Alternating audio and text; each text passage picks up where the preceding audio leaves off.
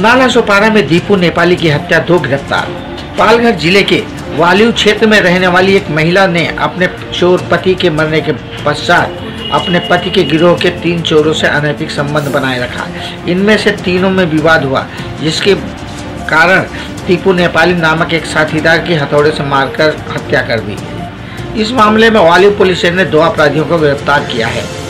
Police के गिरोह में खड़े ये हैं प्रताप त्यागी और अंकुश यादव, जिन्हें आगरा से गिरफ़्तार किया गया। मृतक को दोनों अपराधियों ने शराब पिलाकर हथौड़े से मारकर मौत के घाट उतार दिया। इस घटना के बाद दोनों आगरा अपने परिवार के साथ फरार हो गए। वालियू पुलिस स्टेशन को मृतक के हाथ पर कुछ लिखा हुआ दिखा, जिसके आधार पर यह पता चला कि मृतक नीपू, दीपू नेपाली इस है।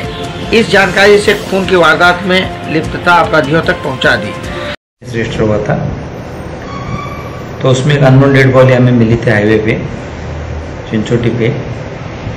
तो हमने बहुत जगह पर हर पुलिस स्टेशन में वो डेड बॉडी का मालूमत लिया, लेकिन कोई इधर भी मिसिंग रजिस्टर नहीं हुआ था।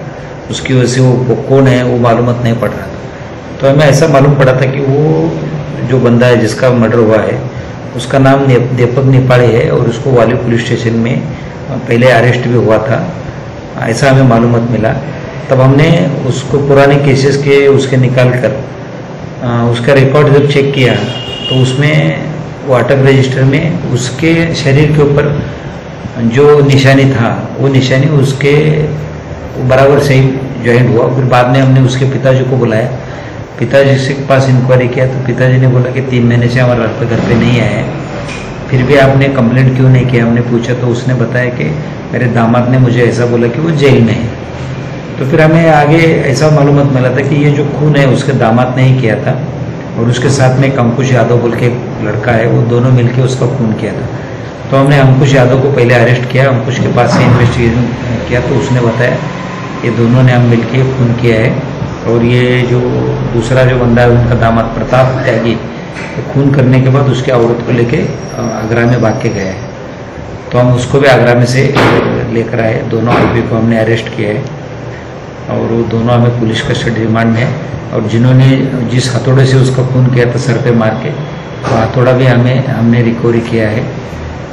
तो इस मर्डर का वजह हम उनसे पूछा तो उसमें ऐसा था कि इनके साथ ये सब चोरी करते हैं। तो इनके साथ में और एक चोर था वो उसका रोड एक्सीडेंट में मौत हुआ था चार पाँच महीने पहले उसके औरत के साथ ये तीनों आरोपी का नाजायज संबंध थे। तो उसी के ऊपर से खून किया ऐसा मालूम पड़ा। सर अभी अब तक कितने आरोपी पकड़े गए और किस पर किस तरह का मामला दर्ज है अभी? हाँ दो आरोपी आए थे दोनों आरोपी हम लोगों ने अरेस्ट किया है।